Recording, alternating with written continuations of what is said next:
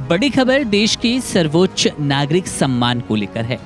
दरअसल भारत के पूर्व उप प्रधानमंत्री और भारतीय जनता पार्टी के कद्दावर नेता लालकृष्ण आडवाणी को भारत रत्न से सम्मानित किया जाएगा। केंद्र की मोदी सरकार ने लालकृष्ण आडवाणी को भारत रत्न देने का ऐलान किया है। पीएम मोदी ने कहा कि एल के आडवाणी हमारे समय के सबसे सम्मानित राजनेताओं में से एक हैं। और भारत के विकास में उनका महत्वपूर्ण योगदान है। प्रधानमंत्री नरेंद्र मोदी ने खुद सोशल मीडिया प्लेटफॉर्म एक्स पर इसकी जानकारी दी।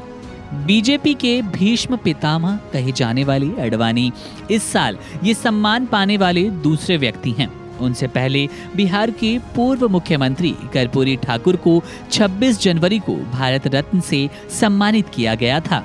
बता दें कि भारत रत्न राजनीति कला, साहित्य, विज्ञान के क्षेत्र में किसी विचारक, वैज्ञानिक, उद्योगपति, लेखक और समाज सेवी को दिया जाता है।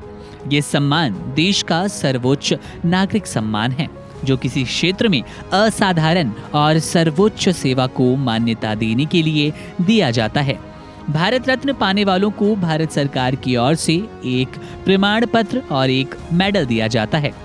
इसके साथ ही किसी भी प्रकार की कोई धनराशि प्रदान नहीं की जाती। हालाँकि इस सम्मान के साथ कई प्रकार की अन्य सुविधाएँ ज़रूर प्रदान की जाती है। लाल कृष्ण आडवाणी को भारत रत्न मिलने के बाद उन्हें सरकारी महकमे की ओर से कई सुविधाएँ मुहैया कराई जाएँगी। भारत रत्न पाने वालों को रेलवे की ओर से मुफ़्त यात्रा की सुविधा मिलती है।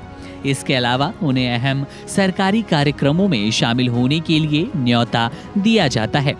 लाल कृष्ण आडवाणी को सरकार वारंट ऑफ़ प्रेसिडेंट में भी जगह देती है। भारत रत्न मिलने के बाद उन्हें प्रोटोकॉल में राष्ट्रपति, उपराष्ट्रपति, प्रधानमंत्री, राज्यपाल, पूर्व राष्ट्रपति उप प्रधानमंत्री मुख्य न्यायाधीश, लोकसभा अध्यक्ष, कैबिनेट मंत्री, मुख्यमंत्री, पूर्व प्रधानमंत्री और संसद के दोनों सदनों में विपक्ष के नेता के बाद जगह मिलती है। भारत रत्न पाने वालों को इनकम टैक्स न भरने की भी छूट दी जाती है। इसके साथ ही वे संसद की बैठकों और सत्र में भाग ले सकते हैं।